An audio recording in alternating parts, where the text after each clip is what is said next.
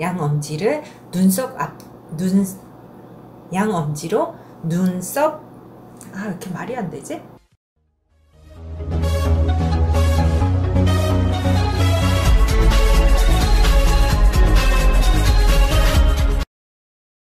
안녕하세요. 시니어봄TV 장혜영입니다. 오늘 제가 다크서클을 없애는 셀프 마사지 방법에 대해서 알려드릴게요. 제가 요즘 너무 피로하고 또 잠을 잘 못 잔 상태라서 진짜 다크서클이 이렇게 예전에 이런 말들 많이 했죠. 턱 밑같이 다크서클이 아니 다크서클이 무릎까지 내려왔다 이런 말들을 많이 했었는데 진짜 그 정도로 다크서클이 말이 아니었었거든요.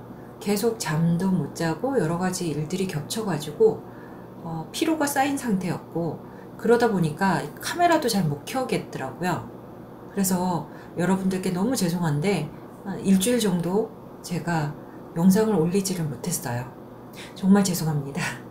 그래서 오늘 제가 다크서클 없애는 마사지 방법을 알려드릴 거고 어, 다크서클이 왜 생기냐면 어, 이렇게 저같이 피로가 누적이 되고 잠을 잘 못 자게 되면 혈액순환이 원활하지 않기 때문에 이렇게 다크서클이 생기거든요.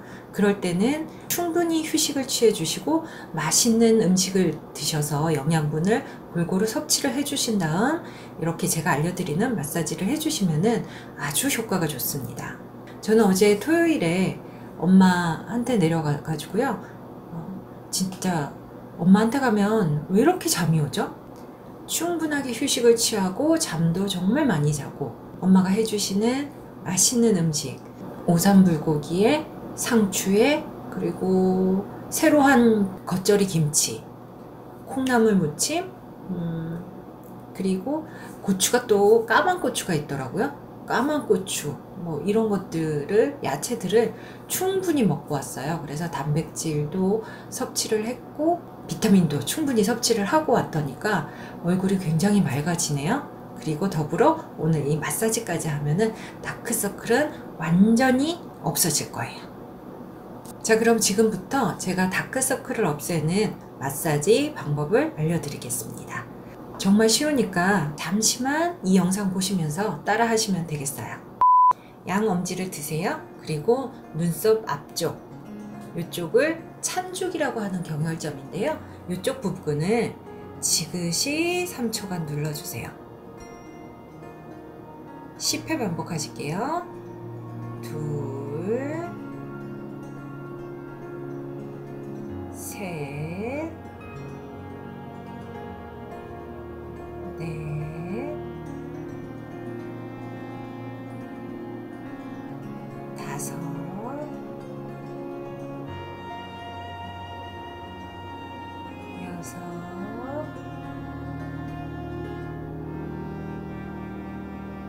일곱, 여덟,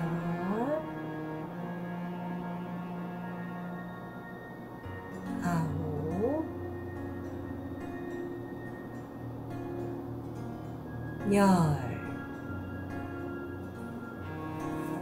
다음은 양 검지로 관자놀이 부분, 태양혈이라고 하는데요. 이 부분을 3초간 지그시 누르는 것을 5회 반복하십니다. 지그시 누르세요. 하나, 둘, 셋,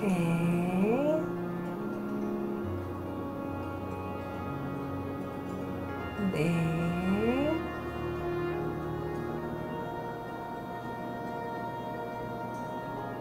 다섯 세 번째 동작은 양 검지로 눈 앞머리 정명이라는 혈자리인데요. 이곳을 3초간 지그시 눌러주는 것을 10회 반복하세요. 하나 둘 셋,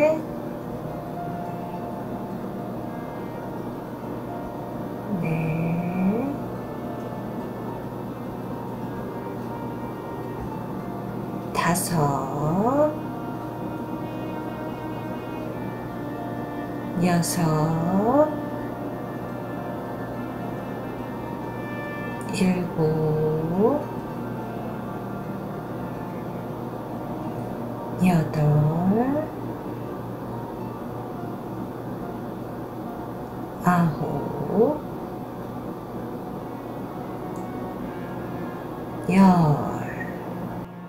다음 마지막 동작인데요. 양 검지로 눈동자 바로 아랫부분 400이라는 혈자리입니다.